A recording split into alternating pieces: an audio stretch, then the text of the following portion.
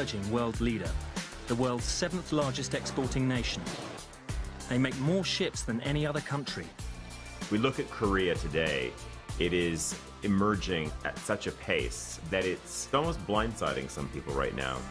They're exporting more memory chips and display panels than anyone else on Earth. People who know this country view it the same way as we do, that it is a very dynamic, very energetic, hardworking country.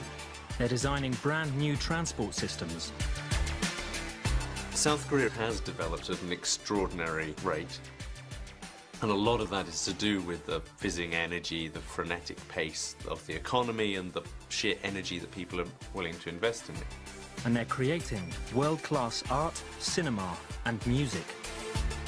It's exciting for music to be such a big part of culture here. In the last hundred years, South Korea has been invaded, subjugated, and divided. But within two generations, it's brought about an economic miracle that's changed the face of the nation and put this country of nearly 50 million people onto the world stage.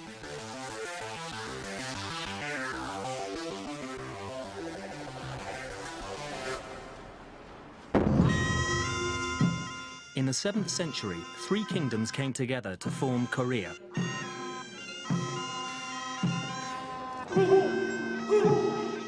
Today, the country's physically divided, the result of a war that began in 1950 and never ended. The fighting stopped in 1953, but an uneasy ceasefire carries on. The Demilitarized Zone, or DMZ, marks the divide between South Korea and the Communist North. Two million soldiers patrol the border. It's the most heavily fortified on Earth.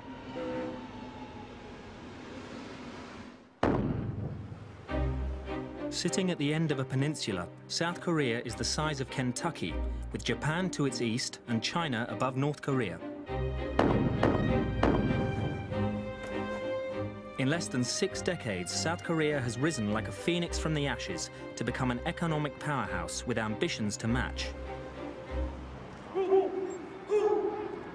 On the international stage, it's hosted an Olympic Games, co-hosted the World Cup, and in 2010, it became the first Asian nation to host a G20 summit. President Lee Myung-bak welcomed the world's leaders to discuss economic and social issues. 구체적인 성과를 도출하기 위해서 노력할 것입니다.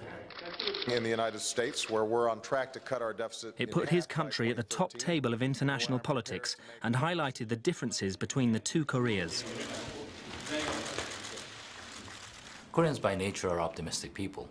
We couldn't have survived the war and the poverty uh, had we not been optimists. But I think with one big caveat, that we have a huge challenge looming over the horizon that most of our peers in the G20 don't have. And that is the challenge of what to do with North Korea. We have the fear that this might lead to another conflict that destroys everything achieved. They've broken the armistice on numerous, numerous occasions. Most recently, the unprovoked sinking of one of our naval vessels, the artillery shelling without provocation of Yeonpyeong Island, the harassment, the, the threatening. All of this casts a very long, dark, uncomfortable shadow over South Korea. North Korea remains a secretive, totalitarian state. Run by a dynastic family who've controlled it since the ceasefire, it has one of the world's largest standing armies. North Korea, after the Korean War, was equally devastated. But having had uh, an industrial base prior to the Korean War, the North Korea recovered faster. And even into the late 60s, North Koreans were relatively wealthier. Not a great deal, but they were better off than South Korea. But today, they're 130th, if that, of our GDP.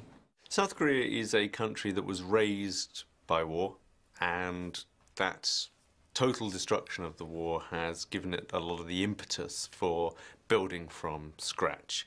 So when we look at many of the industries, people were willing to take very bold decisions because essentially they had nothing to, to lose. The foundations of South Korea's economy were built through government-sponsored schemes that encouraged the growth of family-owned industrial conglomerates known as chaebols.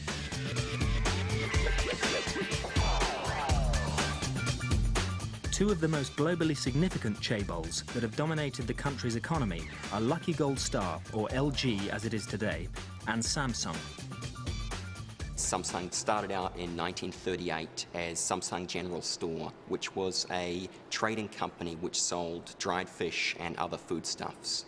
Our history starts from 1947. Uh, we started out as a small manufacturer of cosmetic facial creams for women. Uh, and then we ventured into other industries such as plastic materials, uh, healthcare products, uh, household goods, electronics. After the devastation of the Korean War in the 1950s, Samsung began to move into new business areas to help rebuild the Korean economy. Some of those included, for example, textiles and sugar refineries. Now, by the late 1960s, Samsung began to move into the electronics industry.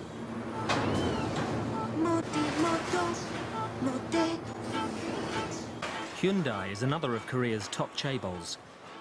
Its founder, Chung Ju-young, was born into a peasant family. He typifies the post-war breed of South Korean entrepreneurs. He went on a whirlwind tour of Europe. He first of all secured a set of orders from the Greeks that if he were able to build a shipbuilding industry, then they would buy ships from him. Predicated on that, he then travelled to London, where he met a first of all rather sceptical Barclays Bank and told them that the Koreans would build ships. And something about the charisma of the man persuaded Barclays that they should fund his project. And from nowhere, he went back down to the small fishing town of Ulsan, built dockyards, started building ships, and before long, the Koreans were the biggest shipbuilders in the world. South Korea is still the world's biggest shipbuilder, and this, the Triple E, will be the world's biggest ship. South Korea is making 10 of them, costing $1.9 billion.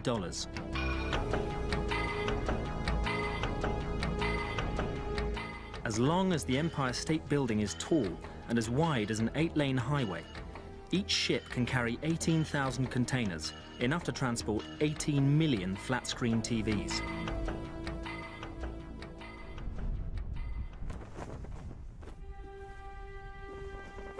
While the economy has grown exponentially, South Korea's political journey toward democracy has been more tumultuous. A combination of military rule, dictatorship, corruption trials and assassination has dogged the country. The effects of this political instability can be seen even today, when its parliamentarians disagree in a spectacular fashion. South Korea's industrial rise has been less volatile, but no less challenging. Heavy industry and labor-intensive industry like textiles were the nation's mainstay in the 1970s. But its neighbor Japan had an unbeatable reputation for cars, electronics, and desirable gadgets. South Korea wanted what they had.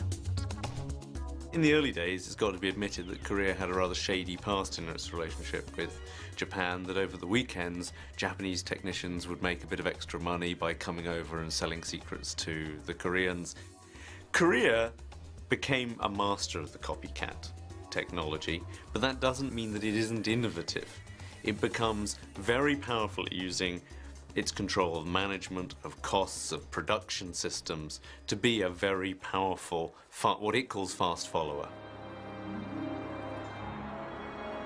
The speed of South Korea's catch-up in the 1980s was meteoric.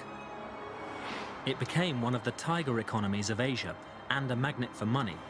Investment in the economy was huge, both from abroad and at home. But by the late 1990s, the relationship between the banks, the chaebols and the government created an investment bubble. In 1997, that bubble burst and South Korea was bankrupt. The Asian financial crisis of the late 90s was very tough on Korea. Uh, about 20% of the large conglomerates uh, failed. Um, many of the others were in tough financial condition. South Korea needed a $58 billion bailout. The International Monetary Fund stepped in, but wanted to change the cronyism that had helped create the crisis. South Korea had survived occupation and war to become one of the world's leading trading nations. Could they do it all over again?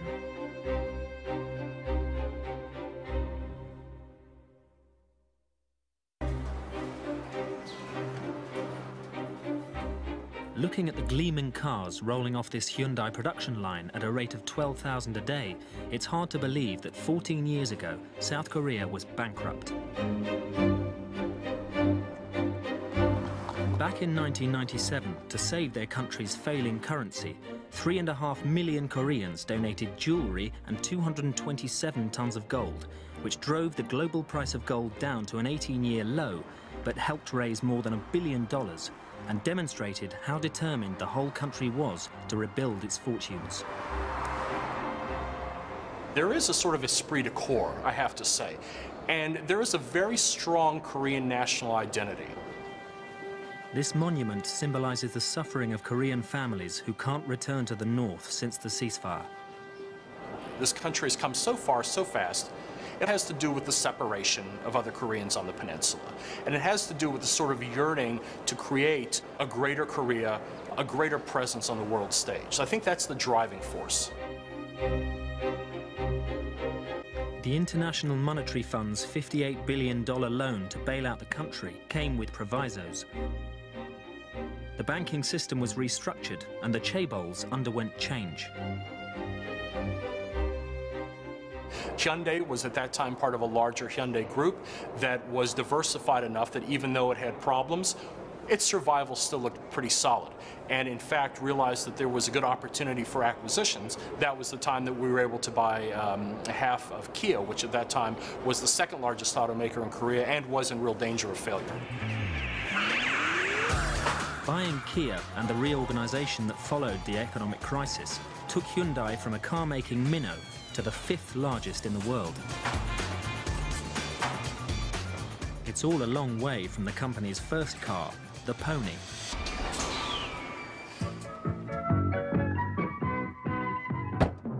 There was kind of a kit of parts. It was almost a, a, United Nations of vehicles. The manufacturing and the engineering know-how came from the UK, the design came from Italy, the engine came from Japan. It was produced here. It was a little hatchback uh, coupe that we started exporting to the rest of the world. As Hyundai Motors have grown, their ambitions have too. Now the company is going head-to-head -head with some of Europe's most prestigious brands, like BMW and Mercedes. The ambition early on was to produce vehicles. If you build them, they'll sell we found out pretty quickly that if you build too many, you can get out ahead of your quality process. And so in 2000, we really retrenched and said, we're not going to focus on volume anymore, we're going to focus on quality. And spent the past 10 years reassessing what success meant. We think now success doesn't necessarily mean being number one. The goal now is to try and be the world's best automaker, and honestly, if we do that, the rankings will come on their own. When Samsung had problems with quality control, they chose a different way of dealing with it. In 1995, when a fault was found with some of the cordless phones produced at our Gumi plant, the chairman ordered about 2,000 executives to gather for a ceremony. And at that ceremony, these uh, cordless phones and other devices were destroyed in a ceremonial way. And this was really done in order to emphasize and make signal a real shift in the way that we approached quality management. Hyundai believes their success is due in part to improved products, but also understanding local markets. One of the ways that Hyundai Motor has really assured its success globally is relying on the expertise in local markets and not necessarily putting a Korean imprint everywhere around the world. It's an intensely pragmatic culture and pragmatic business environment. When the global downturn hit in 2008, Hyundai America came up with a radical idea to get US citizens to buy Korean cars. We created something we called the Hyundai Assurance Plan, and we basically said if you buy a new Hyundai and you lose your job, you can give the car back. And the truth of it was, we didn't get many cars back, but it created a great deal of goodwill. The following year, Hyundai took on rival Toyota, cheekily offering a $1,000 trade-in in the US during the Japanese car giant's woes. And it worked. Hyundai increased its market share. South Korea's hunger to succeed enabled it to pay back its IMF loan three years early. And by 2004, it had joined the trillion dollar club of world economies. I think globalization is inevitable. We've known that the world economy grows faster by interdependence and trade. If that is the paradigm, then for those of us who see ourselves as more advanced economies, have one goal to climb the value added change. South Korea now has 10 companies in the global Fortune 500, has recently ratified a free trade agreement with the EU, and is close to doing a deal with the US. Samsung's home market of Korea is relatively small, which means that our growth is really outside of the country. So today, more than 90% of Samsung's revenue is generated in exports outside of Korea.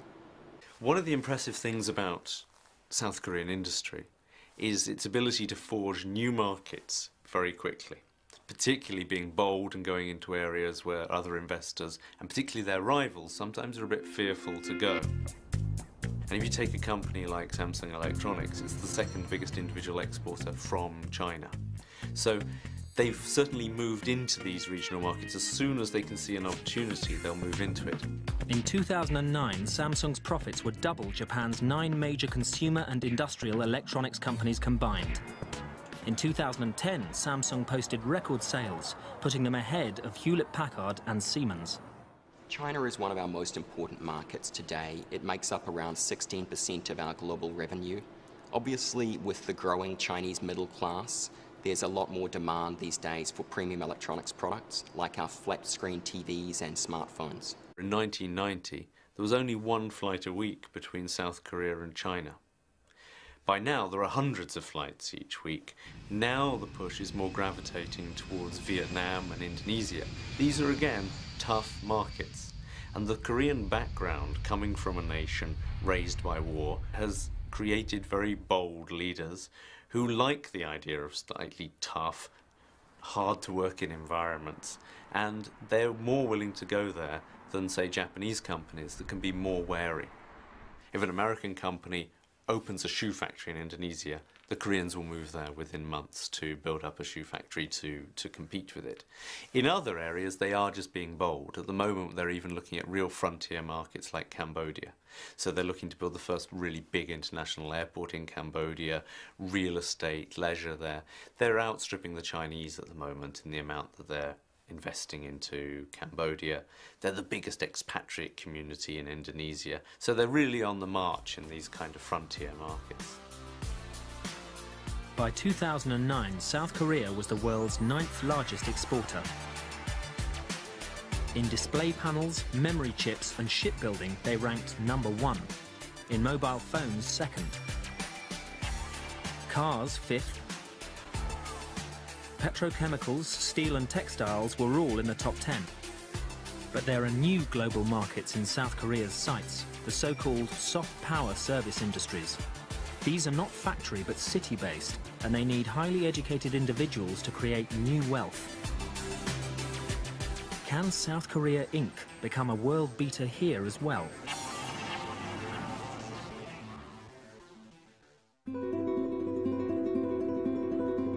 Just 60 kilometers from the border with North Korea, Seoul changed hands four times during the Korean War. Like South Korea's economy, it has been rebuilt and expanded and is now one of Asia's international business hubs. Seoul's ambition is to compete with destination cities like New York or Paris. About half of South Korea's total population live in and around Seoul. That's 24.5 million people while the city's natural setting, the mountains and the Han River, are picturesque, Seoul itself is in need of a makeover.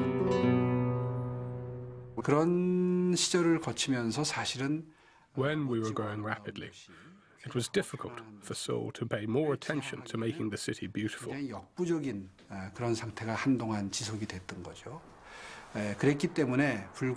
Therefore, Seoul was regarded as a grey concrete city until five years ago.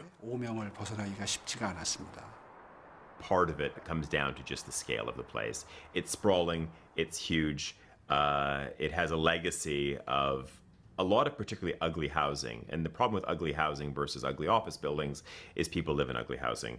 Uh, so you have to, it's going to take a very, very long time uh, to regenerate a lot of those areas. If anyone can do the regeneration, though, it, it's certainly the Koreans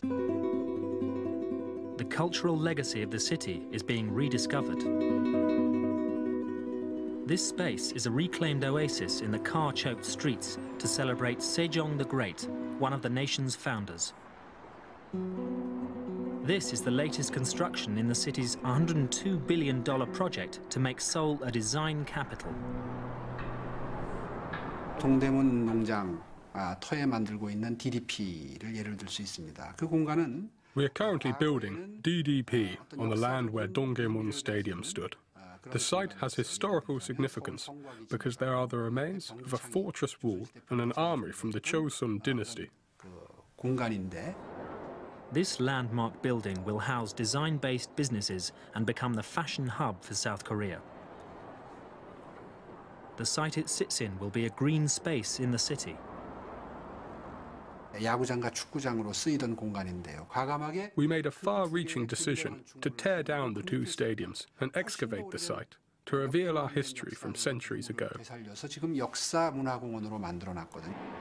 그리고 거기에 이어 Now there is a history and cultural park of Seoul. 이 건축물은 지금까지 구현된 적이 없는 아주 Above the park, we are building a design plaza. We have employed cutting-edge architectural technologies to build this innovative design. Something else Seoul is determined to change is its traffic problem. South Korea wants to become the world's seventh green power within a decade. KAIST, the Korean Advanced Institute of Science and Technology, are developing a transport system to help them achieve that goal. OLEV, the online electric vehicle, the prototype buses and cars take up power magnetically from electric strips buried in the road. There are four supporting motors that are the same as diesel motors. The main motors sit at the back of the engine compartment. This black box is the battery.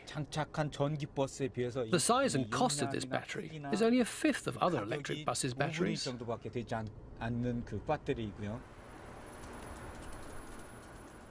The screen over there has a green indicator for drawing the charge and a yellow one for recharging the battery. OLEV could change urban transport worldwide. And if 50% of Koreans switch to OLEV, the country could reduce its oil imports by 35 billion barrels a year. 운행되는 노선의 한 3분의 1 정도 Only a third of the route needs to be capable of recharging. This system is a dream come true. 운행될 수 있는 정말 꿈과 같은 그러한 시스템이죠. From a country that was a fast follower, this South Korean innovation is set to challenge the rest of the world within the next few years. 어, 이러한 변화들이 아마 I think we will amaze the world with this innovative advance in transportation.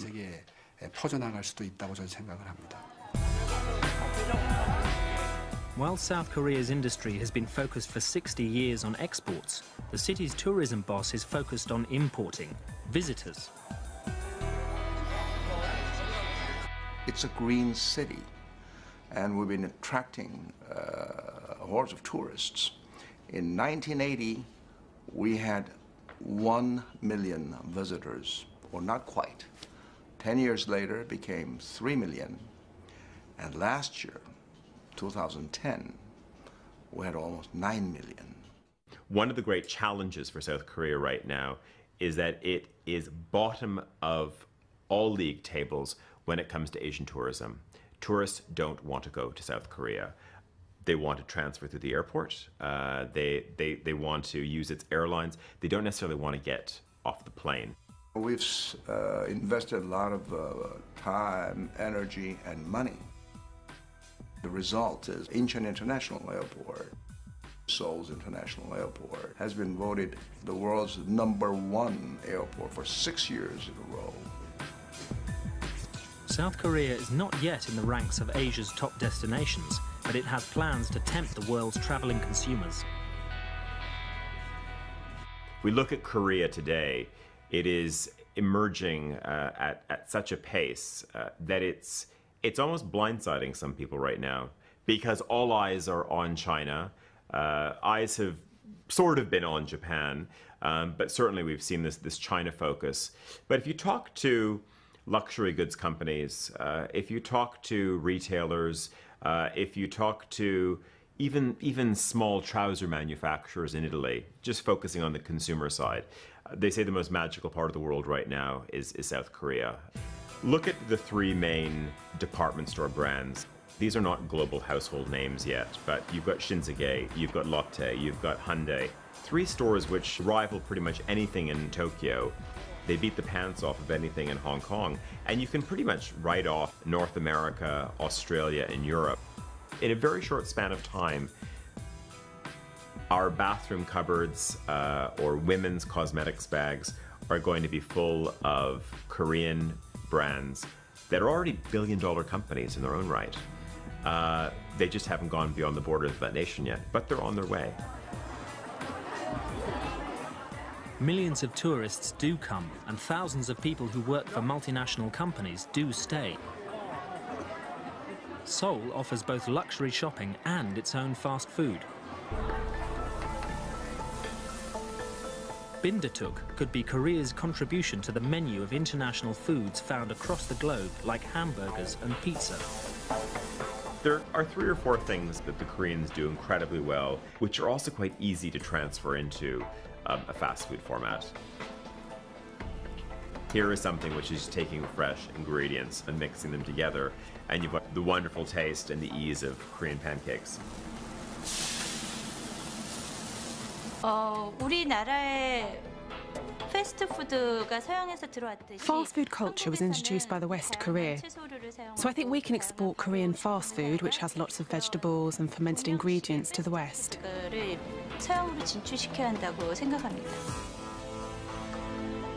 I think bindaetteok is particularly good for health-conscious Westerners. It's because it's made of mung beans. It's a mixture of ground mung bean, pork, kimchi and vegetables. So it's low calorie but nicely nutty in flavour.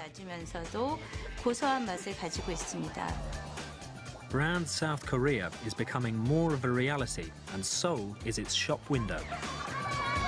It has myriad assets from hot springs, um, of course, Korean cuisine.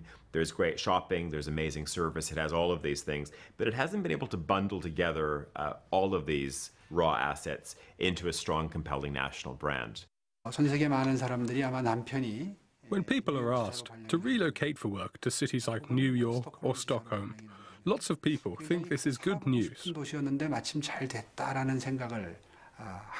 So perhaps after 10 years, Seoul might become one of those cities where people want to live before they die. That's one of my hopes for Seoul. While Seoul is making itself more beautiful, underneath, the city's heartbeat is digital. It's the most wired city anywhere and has world-beating creativity coursing through its veins.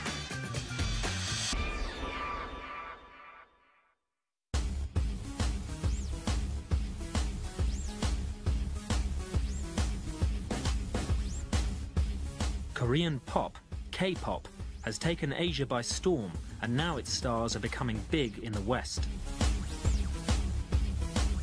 The Hallyu, the Korean wave, is a cultural phenomenon, and in the global soft power stakes, it's been called the country's biggest weapon. When you look at raw soft power, those assets that, that can't be bought but are instantly loved and embraced by people around the world, um, the Koreans have understood uh, how to export those things in spades.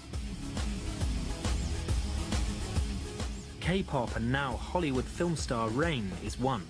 He's been selected as one of People magazine's 100 most beautiful in the world. And film director Park Chan-wook, an award winner at Cannes, has Quentin Tarantino as a fan. And girl groups like Wonder Girls and Girls' Generation have gone international, making millions in export revenues. The K-pop has um, definitely become a bigger influence than it was like five or ten years ago. So it's exciting for music to be such a big part of culture here.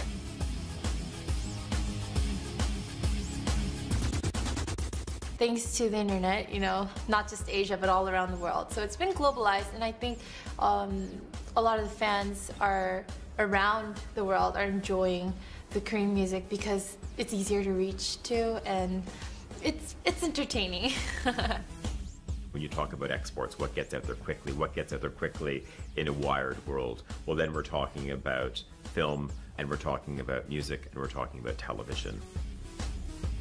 As well as K-pop, Korean soap operas, miniseries and films have won a huge following in Asia and across the world. Lee Byung-hun, star of Hollywood's G.I. Joe, has joined the ranks of other famous Koreans like Daniel Dae Kim and Kim Yun-jin from US TV's Lost. And Koreans are making an impact in sport as well, like Olympic skater Kim Yu-na, golfers KJ Choi and Pak Se-ri, and footballer Park Ji-sung, who plays for the world-famous Manchester United. I think the great appeal of South Korean culture from a pop culture point of view is it sounds odd, but it's its neutrality. I mean, the Koreans have become the acceptable, loved uh, face uh, of Asia. Uh, so if you are in Malaysia, uh, you happen to love these Korean pop groups. Uh, you know, if you're in Japan, uh, you love those dramas, and and if you're in Thailand, uh, you like those actors and actresses. It's not only mass culture that has surfed the Korean wave. Korean art has gone mainstream in capital cities across the globe. The renowned Saatchi Gallery will show only Korean art when the 2012 Olympics is in London. Historically, South Korea is more worldly because its people are part of the cultural exchange. I think if you look at the current creative boom that's coming out of, of South Korea, um, it's benefited from two things. One is the enormous Korean diaspora around the world, and that's Koreans in Australia, the US, Canada, the United Kingdom. I think the other side, though, is education, just the sheer number of Koreans who go abroad to study. And uh, what that brings them uh, is a number of things. It's just exposure to different markets. Uh, you know, it, it delivers an understanding of how other people think, what makes other consumers tick. Per capita, there are more South Koreans studying in America than from any other country. In the 60s, during South Korea's political unrest, hundreds of thousands had emigrated to the US, but now many Korean Americans want to come back. Many of them settled in the US, and we now ha even have uh, hundreds of thousands of young people in their 20s and 30s in the US who are uh, very Americanized, uh, somewhat global, who want to come back home. And many try, but they find that the market here is extremely competitive because the Korean youngsters have in the meantime become far more globalized than their Korean American cousins who are insular, relatively speaking, who grew up in the US. This is a very interesting development.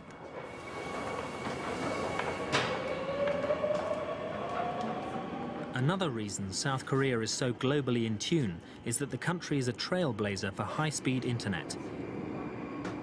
81% of the population are wired to broadband. Seoul calls itself the most wired city on Earth, and even in the subway there is connectivity. Um, this... Ah!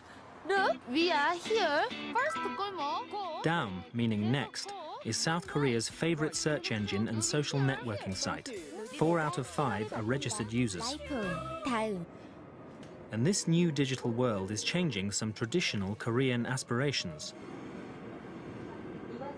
과거에는 이제 한국에는 그런 풍습이 있습니다. 그러니까 돌 첫 번째 생일이 되면 Traditionally, on a Korean baby's first birthday, it's encouraged to pick up something from the party table. 아이가 그것을 잡게 합니다. They put out things like money. 봤을 때, 어, 그 아이의 미래를 같이 점치면서 이제 축하해주는 가령 예를 들면 아기가 이제 돈을 If the baby selects money, it will become a business tycoon. 축하를 해주는 것이 있었는데요. Recently, parents have started putting down a computer mouse, so if the baby picks it up, they'll succeed in IT. IT 업계에서 이제 큰 일을 하게 될 것이다. You see, the internet is so widely used that it's even changing our traditions. 인터넷이 사람들의 생활 속에 녹여들면서 사소한 풍습들을 바꿔나가는 걸 볼 수 있습니다. Small IT companies are multiplying fast in South Korea, and young people are attracted to their different way of working. 는 이제 그 소, 소위 좋은 대학을 나오고 이렇게 실력 In the past, graduates from the top universities wanted to work for chaebols, but now they want to join IT companies, where they can work on their own initiative, unlike at the big companies. 이러한 흐름들이 아마 그 I think this kind of shift will slowly change the working cultures in Korea. 바꿔가지 않을까 생각이 됩니다. It's not just how people work, it's changing who works. A high percentage of the industrial giants, the Chaebol's workforce is male, and an even higher percentage of men fill the top jobs. But in these new industries, things are changing. There are lots of women in senior positions in IT, and the ratio of men to women is 50-50. This is a very new working culture in IT, and many Koreans in high-level jobs find it odd. What's happening in IT reflects a change in South Korean society. Some of the old ways are being challenged by the young.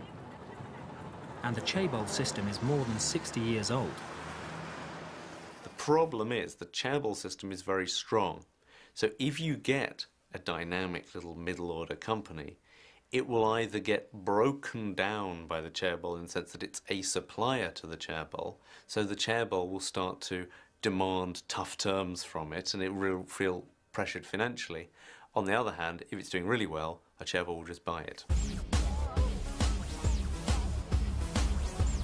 Young South Koreans' priorities are different to their industrious parents and grandparents who worked long hours to raise their country into an economic powerhouse. And soft power is accelerating the speed of that change.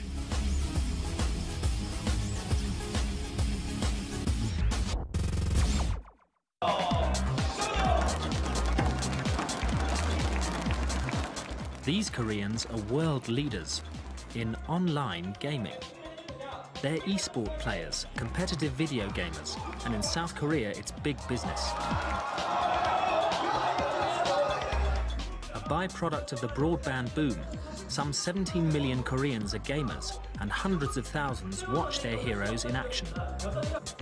E-athletes pitch their skill at obliterating opponents, whether they're in the same room or across the globe. Matches are broadcast onto dedicated TV channels, and the top players' fan clubs are bigger even than many K-pop stars. 리그도 되게 정형화되어 되어 있고 또 Koreans love esport because we have a professional league and esport athletes are very competitive. 분들이 사랑을 해주시는 것 같아요. 그래서 앞으로 이제 With so many fans, I hope that esport can get even bigger. 크게 성장할 수 있었으면 좋겠습니다. Born in a digital age, young Koreans expect instant gratification. Especially the younger generation are used to speed. They're speed addicts. When they turn on their computer, they want it to boot instantly. 30 seconds is too long. They want to be everywhere all at once, unless we're able to provide services that take these young people where they want to be very, very quickly, either in cyberspace or in real space, uh, we have problems. South Korea wants its young people to be as nationally proud and committed as their parents are to the enormous advances the country has made. But there are problems. Its infrastructure, education, politics and law still lag behind the best in the world. President Lee Myung-bak has reform on the agenda, but the speed of change has been questioned. A lot of Koreans really mistrust their political elite, their judiciary, even their own military. So there are lots of areas where the Koreans still feel that reform is needed. The problems are very clearly diagnosed, even by the government itself, but they feel that there's only very, very tepid reforms being pushed to try and change those institutions. Socially, there was a, a great deal of pent-up resentment at government policies that didn't seem to provide for increasing amounts of welfare for the population as a whole. That is changing. The Korean government's public welfare budget has increased dramatically in the last decade and a half, where today it takes up the lion's share. This big industrialization, though, does have a dark side to it. Because although Korea could be incentivized to work like this, it became almost a compulsive working society. People became addicted to their work, and in many ways they still are. In modern era, uh, one expression has become synonymous uh, with Korean character, pali pali. It's a hurry hurry, right? It's been a hurry hurry culture with its positive and pejorative connotations. I think we have learned from this. A lot of these things we have achieved in such a short period of time is because of the hurry hurry and pali pali culture. For Korea to move forward in some ways, it needs to take a step back. Its education system and its companies are locked into a certain way of thinking, of rote learning, of mass production, and there needs to be a sense of how do we incorporate cre creative thinking, innovation, different types of companies into our economy? How do we allow the middle order, more innovative companies to stand on their own and not be eaten by the chaebol. But even as they begin to address their social problems, South Korea's political ambitions are starting to be realized. When President Lee Myung-bak hosted the G20 in 2010, the country believed it was time they were recognized as one of the world's developed nations, but with an awkward history. Because of North Korea always sitting there looming on the border. South Korea has always wanted to be known for, first of all, its democratic triumph and throwing off a military dictatorship at the end of the 1980s that then was almost celebrated by the Olympics. Then, later in 2002, we have the World Cup shared with Japan, which they saw as another great coming out festival, which again so upset North Korea that they tried to upset it with a naval battle off the coast at the same time. And then more recently, last year, we had their presidency of the G20. At the G20, the South Koreans presented an initiative suggesting a different way to give aid to underdeveloped countries. And the head of the IMF praised Korea for its intellectual leadership. Now, we spent a lot of time in the history of Korea looking at Korea as a nation that was a fast follower, that was master of catch-up or being a copycat. So when he went out and praised some of the economists from Korea as being intellectual leaders, that was something new. I think over the next decade, we're certainly going to see more and more spheres of life where the Koreans are giving leadership, ideas and creative thinking, fields where we haven't even seen them before.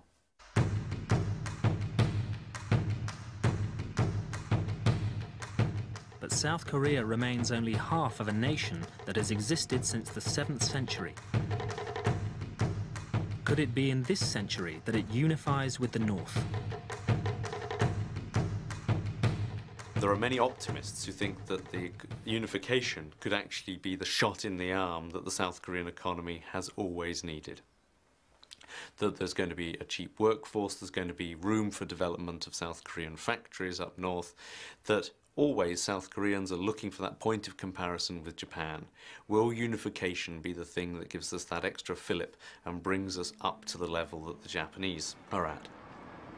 Even without unification, to progress and get that competitive edge, South Korea needs its trademark on products to be as nationally strong as French perfume, German cars, and Japanese technology. Once upon a time, Samsung, they fought purely on price. Uh, now they fight on design and service. It is our technology that made your life smart. we're now approaching what I sort of see as the third Korean wave. If the first Korean wave was LG, Samsung uh, arriving in our households, uh, more Hyundai vehicles and Kia showing up on the street. Uh, if the second wave um, was the K-pop boom, the soap opera boom, um, let's say the whole soft power boom that we've seen from South Korea, the third wave um, is going to be an industrial and brand one. And what we're about to witness are Korean brands hitting every other part uh, of, of our daily life. After 60 years of near relentless growth, does South Korea feel it has achieved its goal, and is there more to come? On the whole, I think South Koreans today, in 2011, feel relatively comfortable economically. Um, there isn't a great deal of discontent in their lives. They worry about uh, North-South Korean relations. They worry about the environment.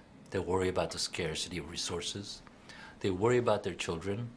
Uh, but these are the worries of a relatively affluent, relatively comfortable uh, economy anywhere on this planet. Uh, the only distinction, I think, is that the Koreans may be still a bit more hungry than the wealthier European countries or North American countries. Now is an interesting time to be Korean and see how well South Korea can fulfill its promise of great things to come. Everything points to a vibrant country that has married the best of both Western and Asian culture in a free market economy, and it could well make South Korea the nation to watch.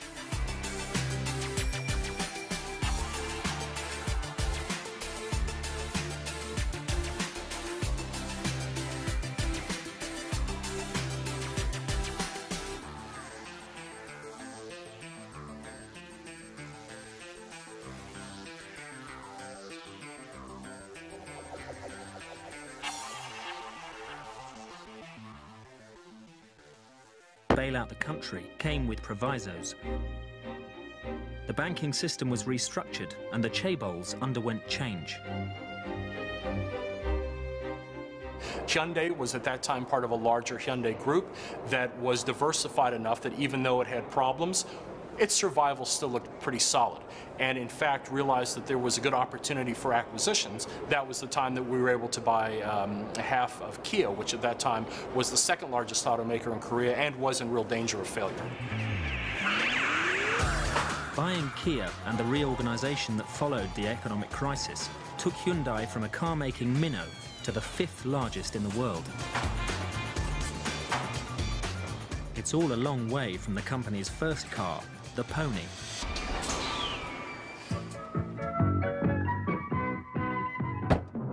There was kind of a kit of parts. It was almost a, a, United Nations of vehicles. The manufacturing and the engineering know-how came from the UK, the design came from Italy, the engine came from Japan.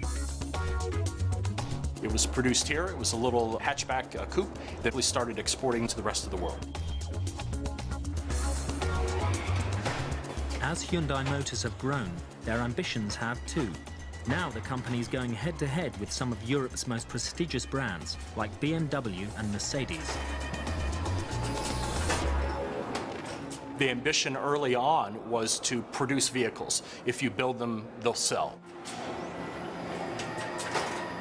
We found out pretty quickly that if you build too many, you can get out ahead of your quality process. And so in 2000, we really retrenched and said, we're not going to focus on volume anymore, we're going to focus on quality. And spent the past 10 years reassessing what success meant. We think now success doesn't necessarily mean being number one. The goal now is to try and be the world's best automaker, and honestly, if we do that, the rankings will come on their own. When Samsung had problems with quality control, they chose a different way of dealing with it. In 1995, when a fault was found with some of the cordless phones produced at our Gumi plant, the chairman ordered about 2,000 executives to gather for a ceremony. And at that ceremony, these uh, cordless phones and other devices were destroyed in a ceremonial way. And this was really done in order to emphasize and make signal a real shift in the way that we approached quality management. Hyundai believes their success is due in part to improved products, but also understanding local markets.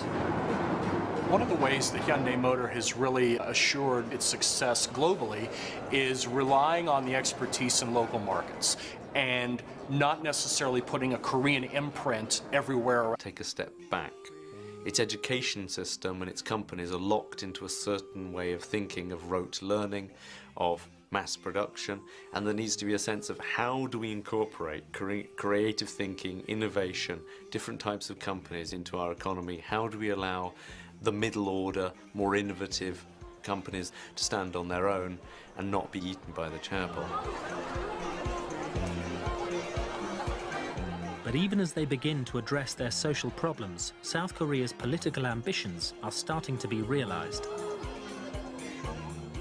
When President Lee Myung-bak hosted the G20 in 2010, the country believed it was time they were recognized as one of the world's developed nations, but with an awkward history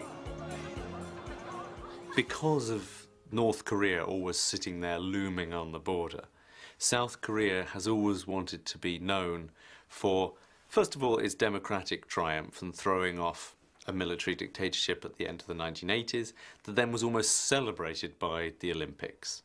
Then, later in 2002, we have the World Cup shared with Japan, which they saw as another great coming out festival, which again so upset North Korea that they tried to upset it with a naval battle off the coast at the same time.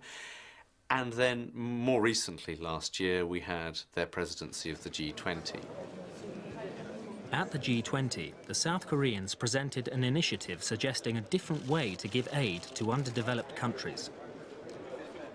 And the head of the IMF praised Korea for its intellectual leadership. Now, we spent a lot of time in the history of Korea looking at Korea as a nation that was a fast follower, that was master of catch-up or being a copycat. So when he went out and praised some of the economists from Korea as being intellectual leaders, that was something new. I think over the next decade, we're certainly going to see more and more spheres of life where the Koreans are giving leadership, ideas and creative thinking, fields where we haven't even seen them before.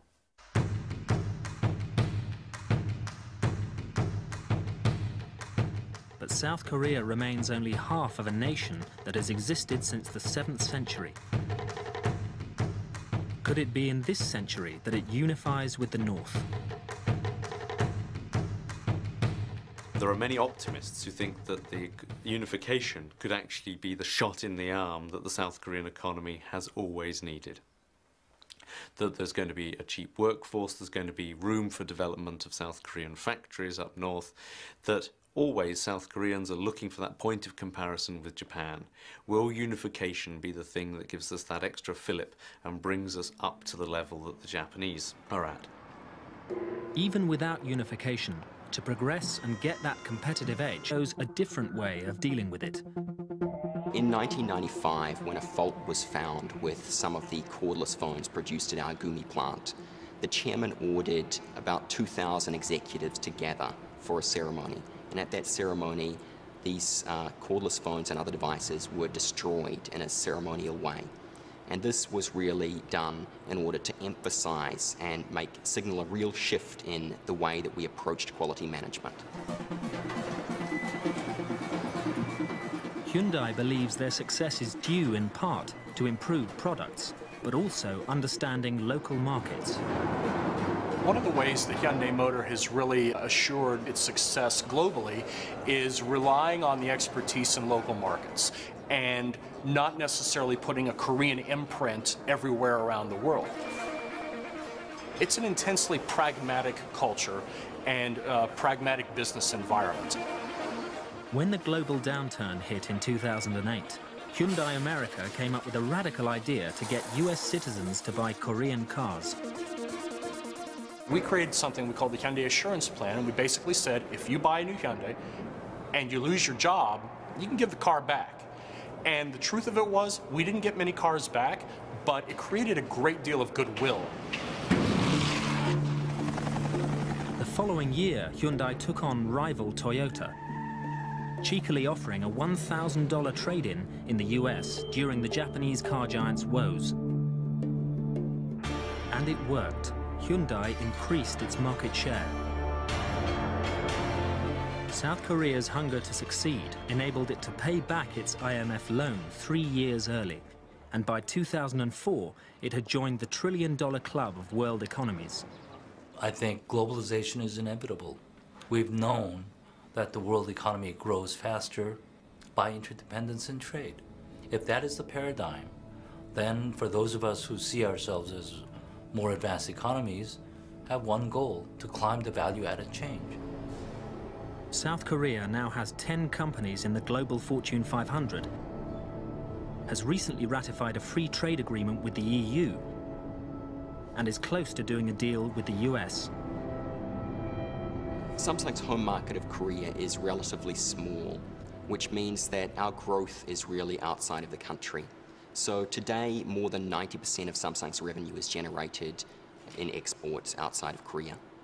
One of the impressive things about South Korean industry is its ability to forge new markets very quickly, particularly being bold and going into areas where other investors, and particularly their rivals, sometimes are a bit fearful to go. And if you take a company like Samsung Electronics, it's the second biggest. Korea remains a secretive, totalitarian state. Run by a dynastic family who've controlled it since the ceasefire, it has one of the world's largest standing armies. North Korea, after the Korean War, was equally devastated.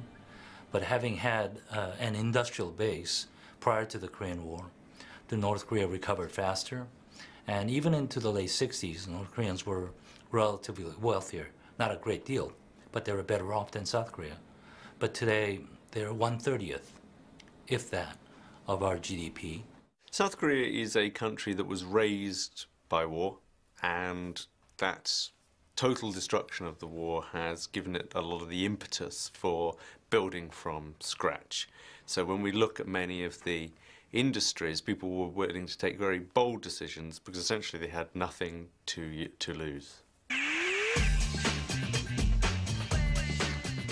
The foundations of South Korea's economy were built through government-sponsored schemes that encouraged the growth of family-owned industrial conglomerates known as chaebols.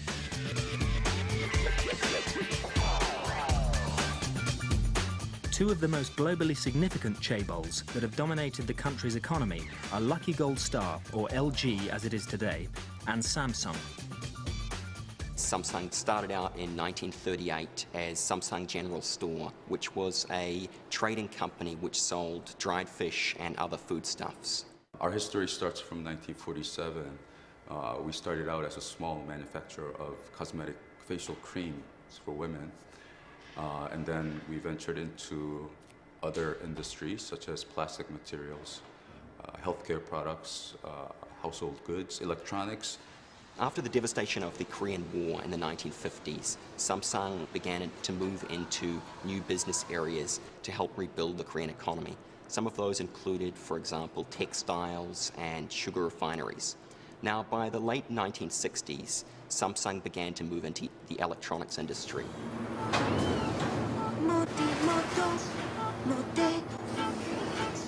Hyundai is another of Korea's top chaebols. Its founder, Chung Ju-young, was born into a peasant family. He typifies the post-war breed of South Korean entrepreneurs. He went on a whirlwind tour of Europe. He first of all secured a set of orders from the Greeks that if he were able to build a shipbuilding industry, then they would buy ships from him. Predicated on that, he then travelled to London, where he met a first of all rather sceptical Barclays Bank and told them that the Koreans would build ships. And something about the charisma of the man persuaded Barclays that they should fund his project. And from nowhere, he went back down to the small fishing town of Ulsan, built. Has a green indicator for drawing the charge and a yellow one for recharging the battery. OLEV could change urban transport worldwide. And if 50% of Koreans switch to OLEV, the country could reduce its oil imports by 35 billion barrels a year. Only a third of the route needs to be capable of recharging. This system is a dream come true. From a country that was a fast follower, This South Korean innovation is set to challenge the rest of the world within the next few years.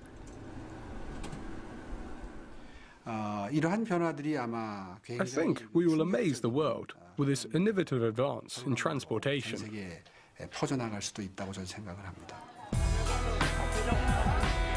While South Korea's industry has been focused for 60 years on exports, the city's tourism boss is focused on importing visitors. It's a green city, and we've been attracting uh, hordes of tourists. In 1980, we had 1 million visitors, or not quite. 10 years later, it became 3 million. And last year, 2010, we had almost 9 million. One of the great challenges for South Korea right now is that it is bottom of all league tables when it comes to Asian tourism. Tourists don't want to go to South Korea. They want to transfer through the airport. Uh, they, they, they want to use its airlines. They don't necessarily want to get off the plane. We've uh, invested a lot of uh, time, energy, and money. The result is Incheon International Airport, Seoul's International Airport, has been voted the world's number one airport for six years in a row. South Korea is not yet in the ranks of Asia's top destinations, but it has plans to tempt the world's travelling consumers. we look at Korea today, it is emerging uh, at, at such a pace uh, that it's, it's almost blindsiding some people right now because all eyes are on China. Uh, eyes have sort of been on Japan, um, but certainly we've seen this, this China focus. But if you talk to luxury goods companies, uh, if you talk to retailers, uh, if you talk to even even small trouser manufacturers in Italy, just focusing on the consumer side, uh, they say the most magical part of the world right now is, is South Korea. Look at the three main department store brands. These are not global household names yet, but you've got Shinsegae, you've got Lotte. You've, when it comes to Asian tourism, tourists don't want to go to South Korea. They want to transfer through the airport. Uh, they, they, they want to use its airlines. They don't necessarily want to get off the plane. We've uh, invested a lot of uh, time, energy, and money. The result is Incheon International Airport, Seoul's International Airport, has been voted the world's number one airport for six years in a row. South Korea is not yet in the ranks of Asia's top destinations, but it has plans to tempt the world's travelling consumers. We look at Korea today, it is emerging uh, at, at such a pace uh, that it's, it's almost blindsiding some people right now because all eyes are on China. Uh, eyes have sort of been on Japan, um, but certainly we've seen this, this China focus. But if you talk to luxury goods companies, uh, if you talk to retailers, uh, if you talk to even even small trouser manufacturers in Italy, just focusing on the consumer side. Uh, they say the most magical part of the world right now is, is South Korea. Look at the three main department store brands. These are not global household names yet, but you've got Shinsegae, you've got Lotte, you've got Hyundai. Three stores which rival pretty much anything in Tokyo. They beat the pants off of anything in Hong Kong. And you can pretty much write off North America, Australia, and Europe in a very short span of time, our bathroom cupboards uh, or women's cosmetics bags are going to be full of Korean brands that are already billion dollar companies in their own right. Uh, they just haven't gone beyond the borders of that nation yet, but they're on their way. Millions of tourists do come, and thousands of people who work for multinational companies do stay. Seoul offers both luxury shopping and its own fast food. Bindaetteok could be Korea's contribution to the menu of international foods found across the globe, like hamburgers and pizza. There are three or four things that the Koreans do incredibly well, which are also quite easy to transfer into um, a fast food format. Here is something which is taking fresh ingredients and mixing them together, and you've got the wonderful taste and the ease of Korean pancakes.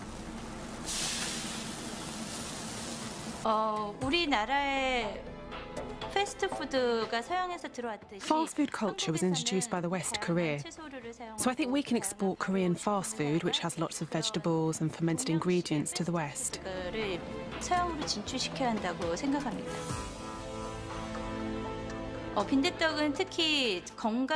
I think bindaetteok. Matches are broadcast onto dedicated TV channels, and the top players' fan clubs are bigger even than many K-pop stars.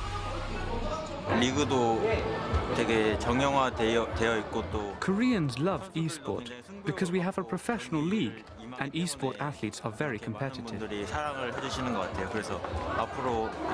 With so many fans, I hope that esport can get even bigger. Born in a digital age, young Koreans expect instant gratification. Especially the younger generation are used to speed. They're speed addicts.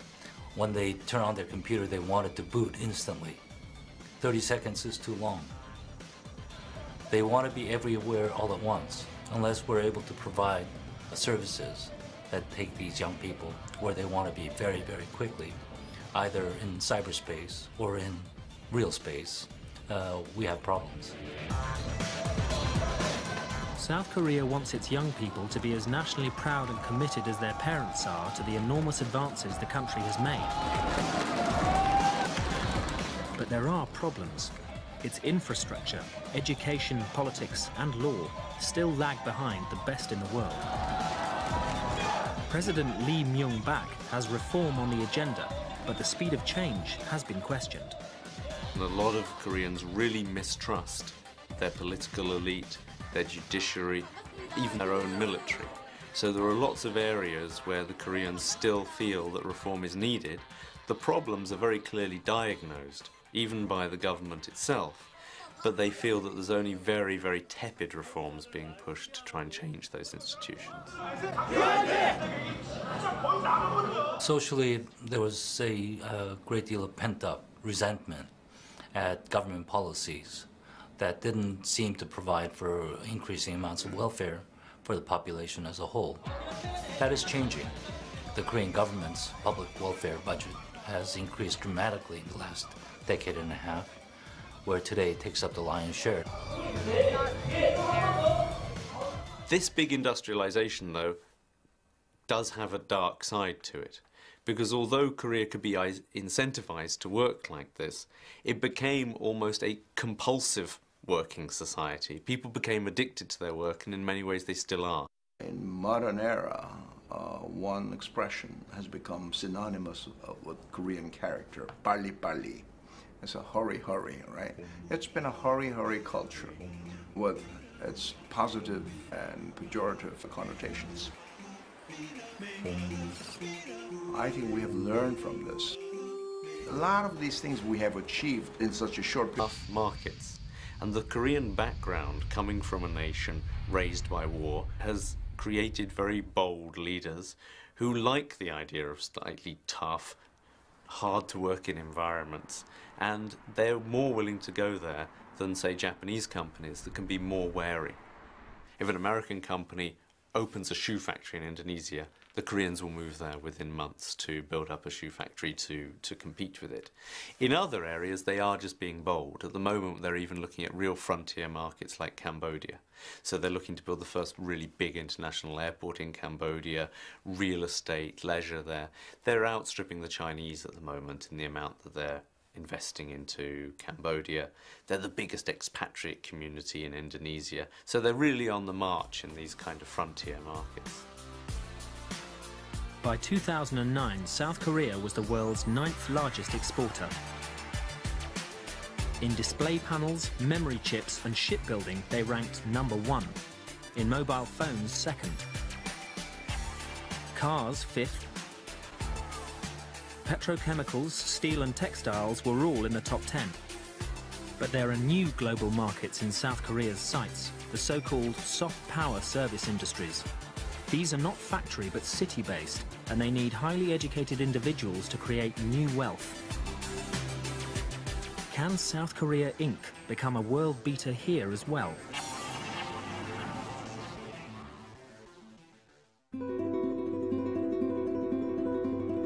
60 kilometers from the border with North Korea, Seoul changed hands four times during the Korean War.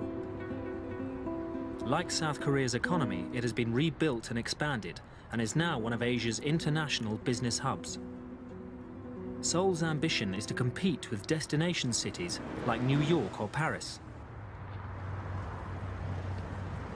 About half of South Korea's total population live in and around Seoul.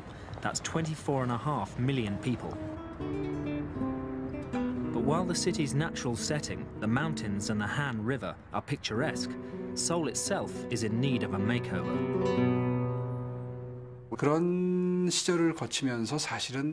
When we were growing rapidly, it was difficult for Seoul to pay more attention to making the city beautiful.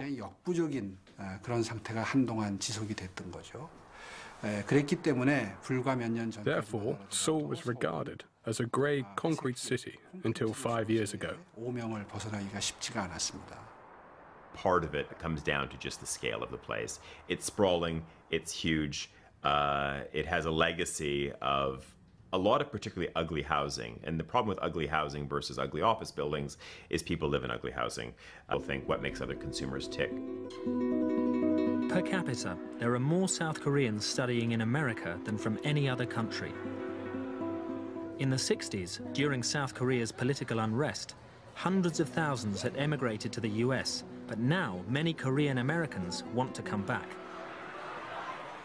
Many of them settled in the US, and we now even have uh, hundreds of thousands of young people in their 20s and 30s in the US who are uh, very Americanized, uh, somewhat global, who want to come back home.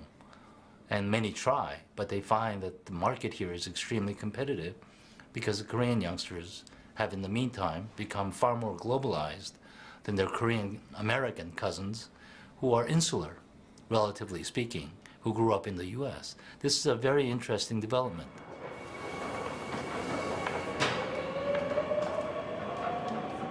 Another reason South Korea is so globally in tune is that the country is a trailblazer for high-speed internet.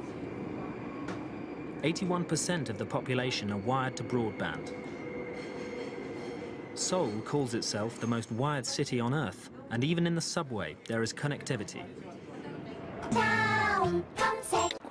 음, this. Ah, look, we are here. First, go. Daum, meaning next, is South Korea's favorite search engine and social networking site. Four out of five are registered users. And this new digital world is changing some traditional Korean aspirations. 과거에는 이제 한국에는 그런 풍습이 있습니다. 그러니까 돌 첫 번째 생일이 되면 Traditionally, on a Korean baby's first birthday, it's encouraged to pick up something from the party table. 아이가 그것을 잡게 합니다. They put out things like money. 봤을 때, 어, 그 아이의 미래를 같이 점치면서 이제 축하해주는 가령 예를 들면 아기가 이제 돈을 If the baby selects money, it will become a business tycoon. 축하를 해주는 것이 있었는데요. Recently, parents have started putting down a computer mouse, so if the baby picks it up, they'll succeed in IT. IT 업계에서 이제 큰 일을 하게 될 것이다. You see, the internet is so widely used that it's even changing our traditions. 인터넷이 사람들의 생활 속에 녹여들면서 사소한 풍습들을 바꿔나가는 걸 볼 수 있습니다. Small IT companies are multiplying fast in South Korea, and young people are attracted to their different way of working.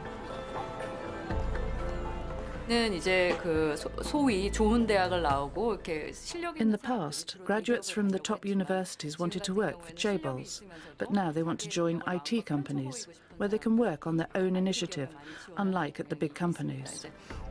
이러한 흐름들이 아마 그 I think this kind of shift will slowly change the working cultures in Korea. 바꿔가지 않을까 생각이 됩니다. It's not just how people work. Looking at the gleaming cars rolling off this Hyundai production line at a rate of 12,000 a day, it's hard to believe that 14 years ago, South Korea was bankrupt. Back in 1997, to save their country's failing currency, three and a half million Koreans donated jewelry and 227 tons of gold, which drove the global price of gold down to an 18-year low, but helped raise more than a billion dollars and demonstrated how determined the whole country was to rebuild its fortunes. there is a sort of esprit de corps, I have to say. And there is a very strong Korean national identity. This monument symbolizes the suffering of Korean families who can't return to the north since the ceasefire. This country has come so far so fast. It has to do with the separation of other Koreans on the peninsula. And it has to do with the sort of yearning to create a greater Korea, a greater presence on the world stage. So I think that's the driving force. The International Monetary Fund's $58 billion loan to bail out the country came with provisos. The banking system was restructured and the chaebols underwent change. Hyundai was at that time part of a larger Hyundai group that was diversified enough that even though it had problems, its survival still looked pretty solid. And in fact, realized that there was a good opportunity for acquisitions. That was the time that we were able to buy um, half of Kia, which at that time was the second largest automaker in Korea and was in real danger of failure. Buying Kia and the reorganization that followed the economic crisis took Hyundai from a car-making minnow to the fifth largest in the world. It's all a long way from the company's first car, the Pony.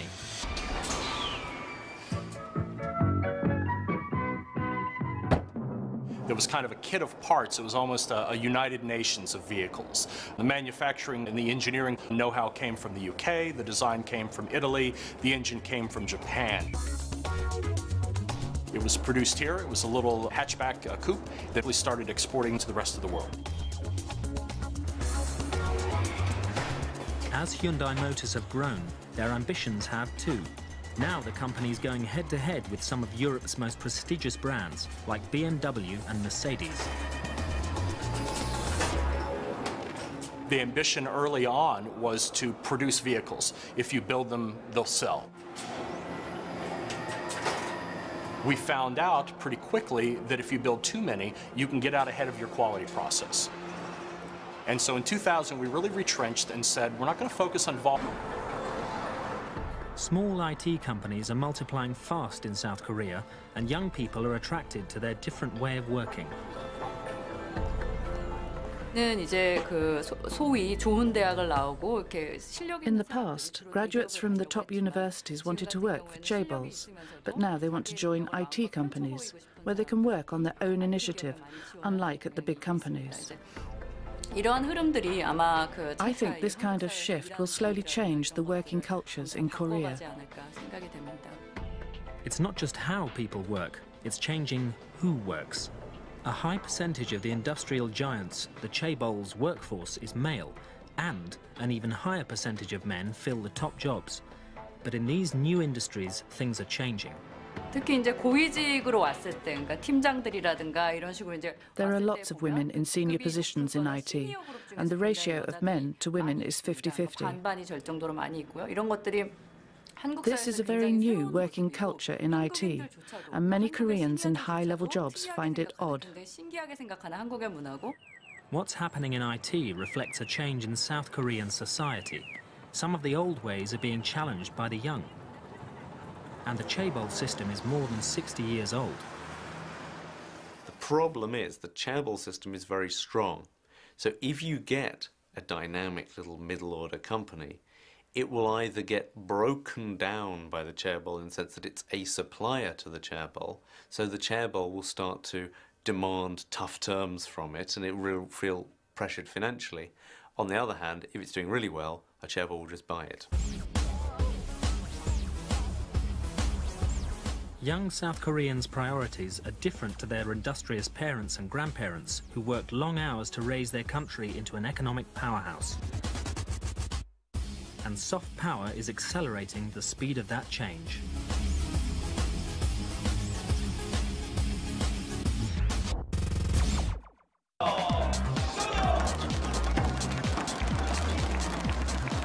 These Koreans are world leaders in online gaming. They're esport players, competitive video gamers, and in South Korea it's big business. Byproduct of the broadband boom, some 17 million Koreans are gamers, and hundreds of thousands watch their heroes in action. E-athletes pitch their skill at obliterating opponents, whether they're in the same room or across the globe. Matches are broadcast onto dedicated TV channels, and the top players' fan clubs are bigger even than many K-pop stars.